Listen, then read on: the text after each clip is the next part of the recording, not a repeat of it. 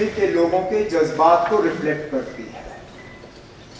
हकीकत यह है कि जम्मू कश्मीर के लोगों ने 5 अगस्त 2019 के फैसले पे अपना मोहर नहीं लगाया है।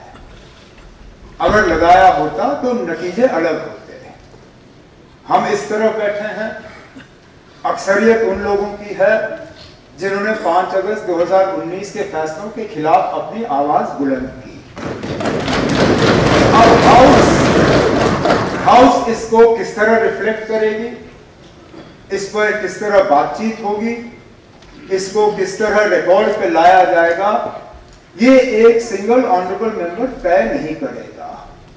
आगे जाके जब प्राइवेट मेंबर बिज़नेस का सिलसिला शुरू होगा मेन सेशन में, तब इंडिविजुअल ऑनरेबल मेंबर्स जो लाना चाहे वो लाएँ। लेकिन फ़िलहाल इस सेशन में हाउस के तरफ़ से क्या बात होगी, क्या रेजोल्यूशन लाया जाएगा, क्या किया जाएगा, वो ट्रेजरी बेंचेस तय करेगी आपकी इजाज़त के साथ।